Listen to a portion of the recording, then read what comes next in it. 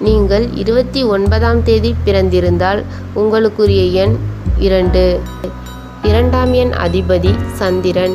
இவர்களின் இயல்பு எப்படி இருக்கலாம் என்பதை பார்க்கலாமா? வீட்டை பூட்டிவிட்டு வெகு தூரம் சென்ற பின் மீண்டும் வந்து பூட்டை இழுத்து பார்க்கும் அளவுக்கு சந்தேக குணமுடையவர்கள். அன்பு அடக்கம் பணிவு பொறுமை சகிப்புத்தன்மை என்பவற்றின் பிரதிநிதியாக இவர் இருப்பவர். மனம் போன போக்கிலே வாழ்ந்தால் என் என்ன என எண்ணக்கூடியவர்கள். ஆனாலும் மக்களால் வெகுவாக போற்றப்படுபவர்.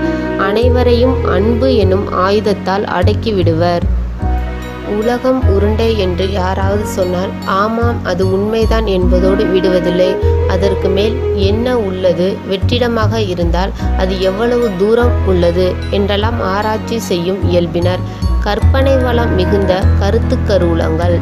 இவர்களா இந்த காரியத்தை செய்தார்கள் என பிரமிக்க வைக்கும் அளவுக்கு கடினமான செயல்களையும் சாதாரணமாக செய்துவிடுவர். இரவு எவ்வளவு நேரமானாலும் சரி சொந்த வீட்டிற்கு வந்தால்தான் இவர்களுக்கு நிம்மதி. இறை நம்பிக்கை மிக அதிகம். கண்கள் காந்த சக்தி உடையவை. தியானம் சூட்சமம் ககனமார்க்கம் என்று பலருக்கும் எட்டாத சமாச்சாரங்களில் ஈடுபடுவர். ஏதேனும் இறைநாமங்களை உச்சரித்து கொண்டே இருப்பர். பிறரை நம்பி எந்த வேலையும் ஒப்படைக்க மாட்டார்கள்.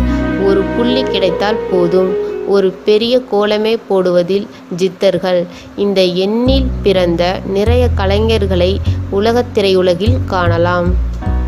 பிறருக்கு எப்போதும் ஏதேனும் கருத்துக்களை போதித்து கொண்டே இருப்பர்.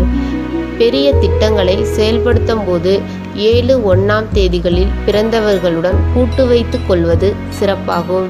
மனோதிடம் குறைந்திருந்தாலும் மகோனத்தனமான செயற்காரிய காரியங்களை செய்து பேரும் புகழும் பெறுவர். இளம் பறையத்தில் அடையாளம் தெரியாமல் இருப்பவர்கள் கூட மத்தியம வயதில் தேச புகழ் பெறுவர். சினிமா இசை வாதம் காவியம் ஓவியம் பத்திரிகைகளுக்கு புதுமையான செய்தி திரட்டுவது ஆவி மந்திரம் தந்திரம் மாயாஜாலம் போன்றவற்றில் ஈடுபட்டு பெருமை பொருள் ஈட்டுவர். அவ்வப்போது அலையா விருந்தாளியாக ஜலதோஷம் தும்மல் இருமல் தலைவலி போன்ற நீர் சம்பந்தமான நண்பர்கள் வந்து செல்வர். அடுத்தவர் மனதை அறிவதில் சாமாத்தியர்கள். நல்ல துணை வீடு நிலம் வாகனம் பொருளாதார ஏற்றம் படிப்படியாக வந்து சேரும். இவர்களுக்கு எதிரிகளே இல்லை எனலாம்.